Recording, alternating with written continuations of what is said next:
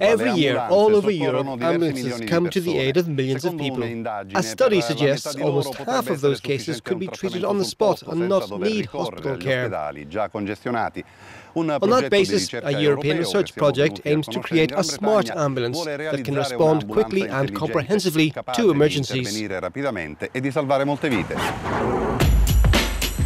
It's hoped that very soon medics will be able to give an accurate early diagnosis in the so-called golden hour after an incident that could decide the fate of a patient.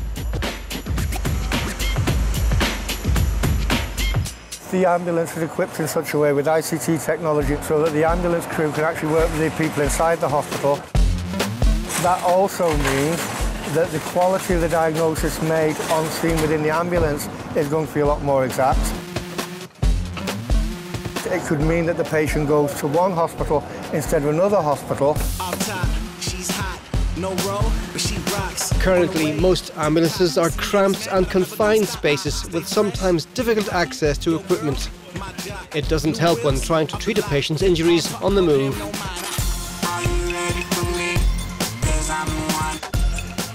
It's not ideal to keep going here, standing, moving, whereas if things were all available in front of you, easily to grab. The other thing we're unable to do is get around to the other side of the patient. Even the cupboards don't tend to open as much as they need to. I could then be putting myself right across the patient who potentially could be vomiting and get into that one.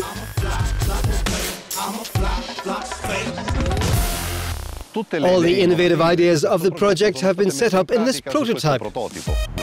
With ergonomics and design in mind, researchers have come up with a new concept of the ambulance's interior.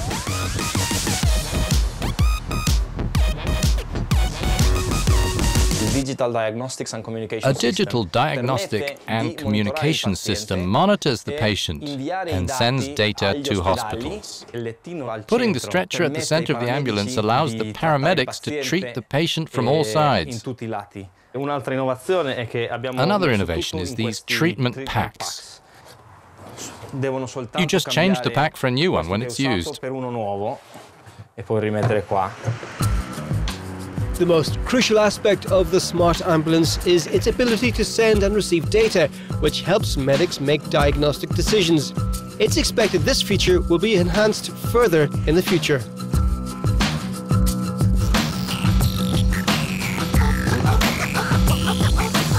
Technology is always moving forward and at an increasing pace. I think we'll see more use of internet-enabled technologies such as telemedicine,